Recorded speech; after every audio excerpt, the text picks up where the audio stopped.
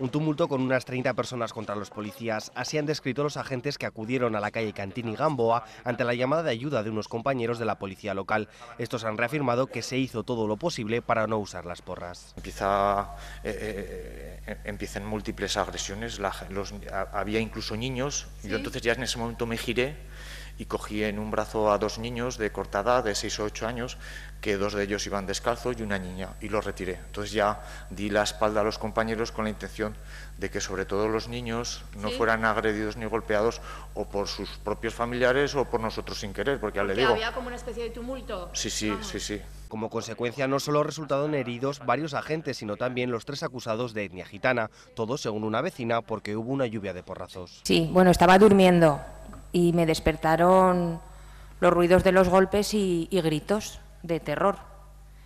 Entonces salí a la, abrí el balcón y vi mm, a un montón de policías mm, pegando porrazos a saco a un grupo de gente que al principio no sabía qué era, porque vi que era gente joven.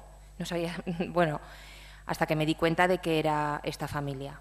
Con todas estas versiones, el juez tendrá que decidir si condenar a la familia a unos tres años de cárcel, como solicitan la Fiscalía y el letrado Esteban Pendas, o imponerle un año de prisión a los policías, como solicita Pilar Vergasa.